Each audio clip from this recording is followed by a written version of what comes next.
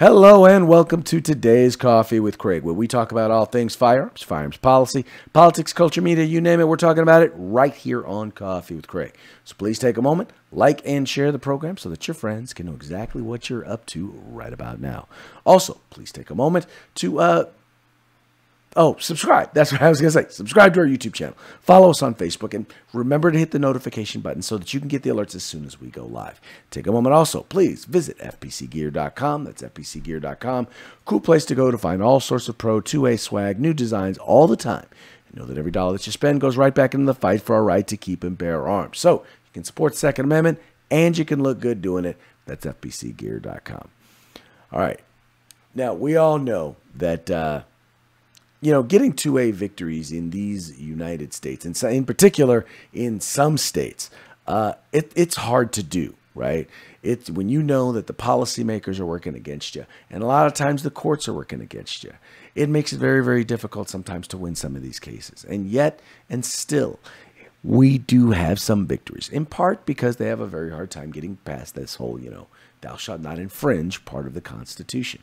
But also when it comes to getting access to, uh, to other civil rights, like access to information, freedom of information, the First Amendment, private property, all of these various different rights uh, are, you know, ignored oftentimes by government when it, because, well, guns.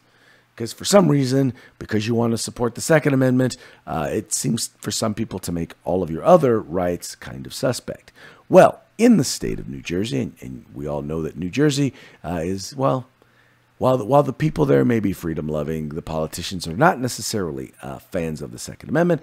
Uh, there was a recent court decision that took place that is uh, quite huge for those who advocate on behalf of the Second Amendment there in the state of New Jersey. And to tell you a little bit more about it, we have our good friend from the New Jersey Second Amendment Society, Mr. Alexander or Alejandro Roubian. What's up, man? Hey, thanks for having me back on. Excellent. It's all you know. It's always good to have you on, bro. So, uh, obviously, you guys got some good things happening there in New Jersey. Tell us a little bit about uh, about what's going down. Well, there was a big problem uh, ten years ago when we were suing police departments that they were violating New Jersey state statute and the laws in regard to how people can apply for firearms and uh, exercise their Second Amendment right.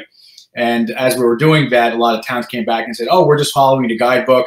We're following the instructions that were given from the Attorney General's office. We're in no violation. So when we asked for this information, sure enough, Governor Christie, the former governor of New Jersey, um, did an executive order to ban this information from being released and not telling us what the rules and the directions were on how police departments can investigate firearm applicants. So we ended up suing for that information.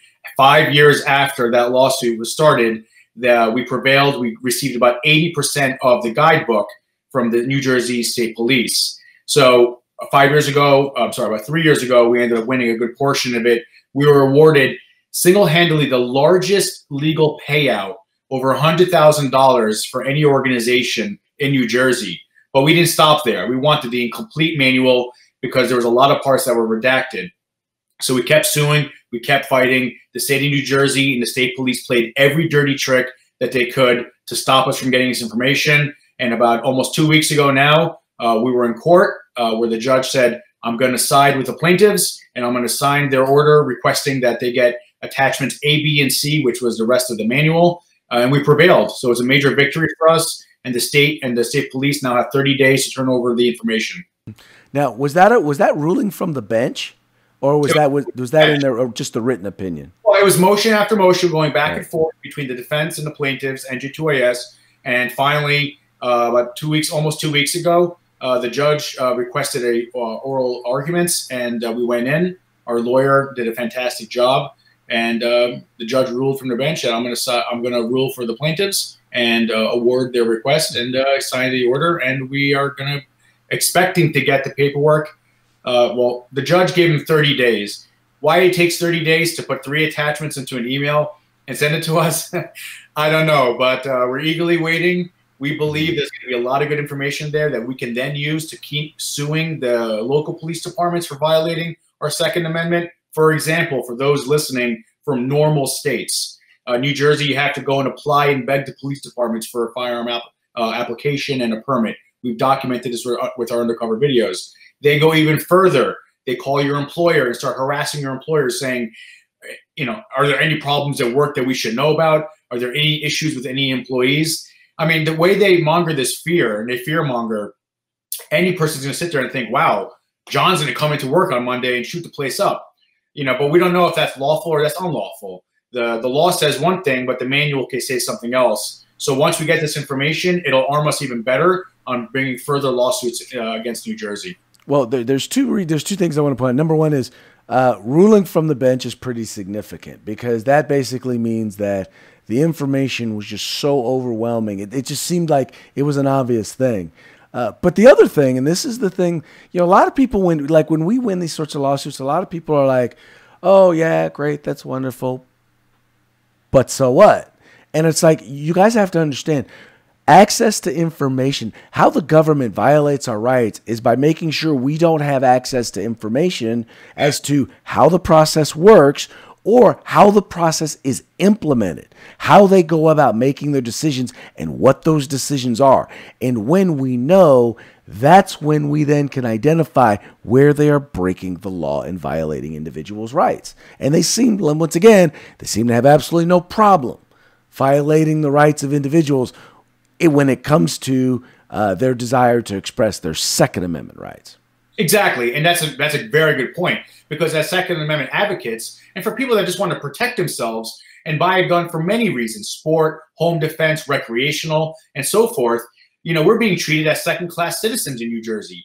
Imagine the outrage if you went to the welfare department and said, "Why am I being being denied my welfare check?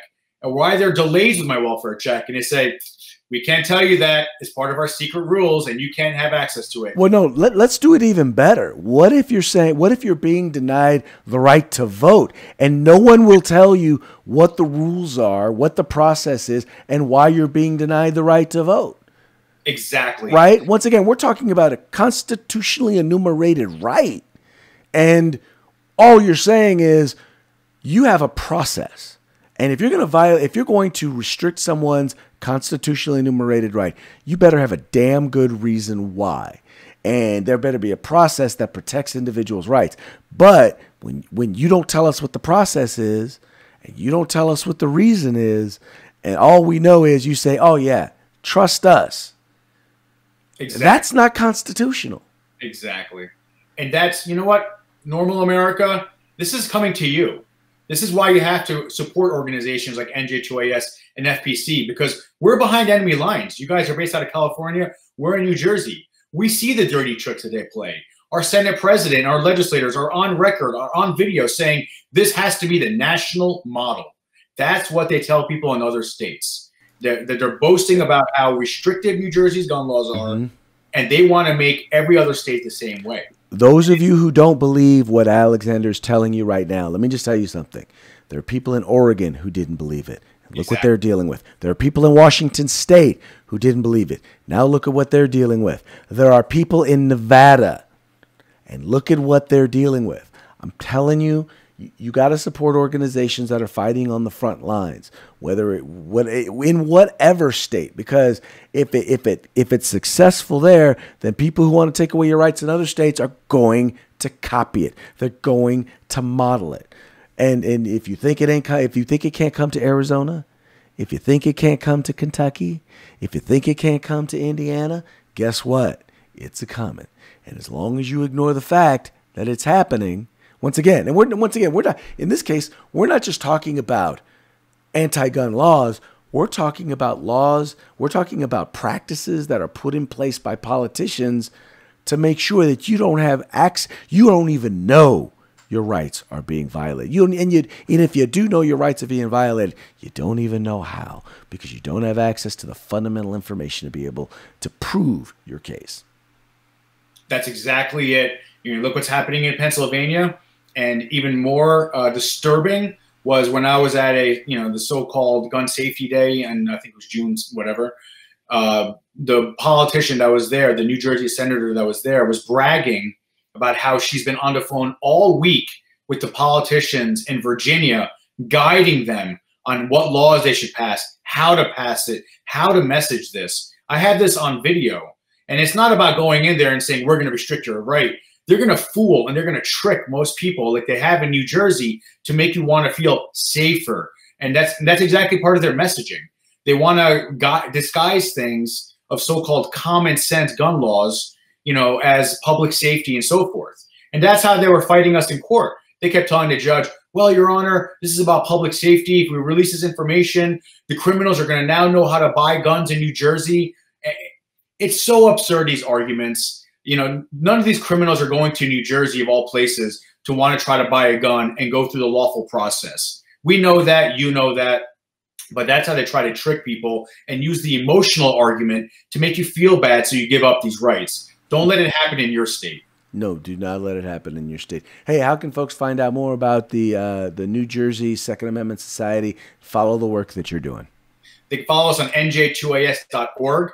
Also, the redacted version of this um, of the, the firearm manual that the state police provided us three years ago is available on our website on the news section. And once we get the complete copy, we're going to put that up as well. We're also on all social media platforms on Facebook, Twitter, and Instagram.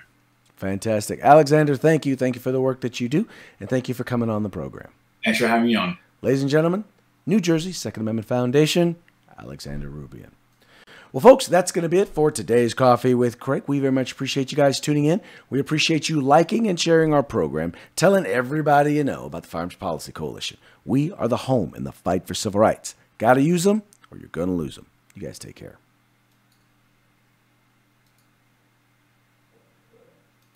If you like our videos, follow, subscribe, like, and share.